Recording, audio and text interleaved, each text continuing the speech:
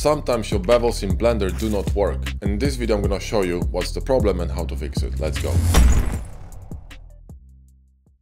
Now before we continue, let me say that we have a free course on Blender Hard Surface Modeling, which will teach you in about 5 hours everything you need to know about the UI, the basic modifiers, modeling in Blender, rendering, even texturing. So if you're interested in hard surface modeling, this is probably the best course, free course out there uh, for Blender users. And uh, we have about 70,000 students who enrolled, help them tremendously. They're getting fantastic results in no time. So would highly recommend you go and grab our course. The link is in the video description and like I said, it's completely free. So enjoy. Let me show you in Blender how a bevel can fail and what you can do to fix it. So if I'm going to add a bevel modifier with HardOps to this cube, so cube bevel and just add a bevel, you can see that all the edges on this cube are beveled, right? No problem. Now why they are beveled? If I'm going to expand this modifier here, you'll see that my bevel is set to limit method angle and the angle is at 30 degrees. Now what does it mean? It means that every single edge that is at least at 30 degrees will be beveled. So now on our cube, all the edges, right? All the edges are at 90 degrees, right? The faces are angled at 90 degrees. So this edge, right, is at 90 degrees angle, okay? So 30 degrees is way below that, which means all the edges gonna be beveled. But watch what happens when I'm gonna move this edge on a y-axis, right, forward. Eventually this angle is gonna become lower than 30 degrees, boom, right? And the bevel is gone. So that's a problem. And if you have mesh like that, your bevel will not work. So you got two things, we can you can do two things to fix it, okay? First is gonna be changing the angle, on the limit method. So you can lower the angle down to match the angle between these two faces. So if I'm going to go here and grab this slider and move it to the left of my mouse, you see that at 27 degrees the bevel is back on because that angle here is actually 27 degrees. Now this method has a problem because if you for example have, have a manual bevel on your mesh and you're going to keep decreasing this angle eventually you're going to be beveling all the edges on your mesh and it will look like shit right? Because now blender bevels all these edges as well because simply the angle limit method is so so low. So another method would be to add bevel weight to all the edges that you want to have beveled and you can do it automatically with HardOps or manually with blender. So let me show you. I'm going to change the limit method to weight right? And now all the bevel, uh, all the bevels are gone because now what we need to do, we need to actually specify which edges on our mesh we want uh, the bevels to be added to. So if I'm going to select all the edges I want to have my bevel added to, like this, right, with shift and control, I'm going to press right click and go to edge bevel weight, and I'm going to press 1 and enter. Now what happened is that our edges became colored, which means, you know, it indicates that the bevel weight was added. By the way, you can change the color of this one if you want to. If you go to edit preferences and go to uh, themes and then go to 3D viewport uh, here and go to edge bevel, you can actually change it to whatever the hell you want, right? So anyway, the edge is going to be colored right with uh, b weight and uh, this will basically tell blender which edges should be beveled and you can see this edge is beveled again right?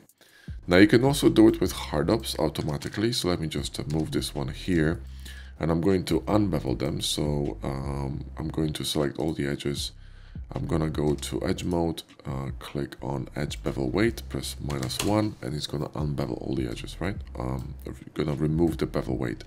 So with HardOps, what you can do, you can go to control tilde menu, and under general here, under sharpening and shading, by default, your settings should look like this, which means that if you go to Q mark sharp, here, sharpen, right? Uh, HardOps will add crease, b-weight and sharp to all the edges. Now in our case we don't really need crease because you know we're not using sub D and to be honest I wouldn't be adding a sharp to all the edges because they can create like a nasty highlight around the bevel. Now I'll show you what I mean. So let's select these two options for now and I'm gonna go here and press Q and sharpen. Now this will add B weight and sharpen to all the edges except of this one because again there is a limit method under sharpen set to default 30 degrees. So what you need to do is go here manually, click that edge in ed edit mode, Q and mark sharp to add B weight and sharpen to this edge. Now let me go back to what I said about sharpen. You see this kind of a highlight um, around the bevel here. This is what sharpen does. So what you want to do in this case, uh, you want to remove uh, sharp from the uh, from the edges and just keep only B weight. So this kind of a nasty highlight here, this kind of like edge is gonna be gone, right? So what you want to do is you can do this with HardOps if you want to, but you can also do it manually. So you can simply go to edit mode, select all the edges, right click and uh, clear sharp. So here, boom, you see and this edge is gone. And you got a really nice clean bevel running around your mesh and every single edge that you want is actually beveled. Now if you're gonna see these kind of uh, nasty transitions in corners, this is caused basically by the fact that you have not enough segments in your bevel. So if you go to Q bevel and you're gonna scroll up, it's going to actually increase, uh, you know, smooth out uh, the transition here. It'll look a little bit better, okay? So if you have this kind of a situation, especially on bigger bevels, you simply need to go a little bit higher on the amount of segments, okay? And of course, this mesh needs weighted normals because uh, if you add bevel to a mesh uh, in uh, Blender, in order to flex all the faces and, you know, keep them straight and nicely flat, you need a weighted normals, so Q and Alt click on sharpen, or you could go here and uh, simply add it in here. And that's it guys, so that's how you can solve your problem with bevels in Blender when you are trying to bevel some really, uh, really um, shallow angles uh, between faces on your models. And if you wanted to, there is one more method you could use, but that one is actually destructive. So let me remove B weight from this one, right, completely. And what you could do, you could actually do it manually, right? So you could actually add a bevel here manually. Now, you could say that, well, this is completely destructive and, you know, what, what if I wanted to change this, right? What if I wanted to remove this bevel? It's going to be a little bit problematic to do that, right?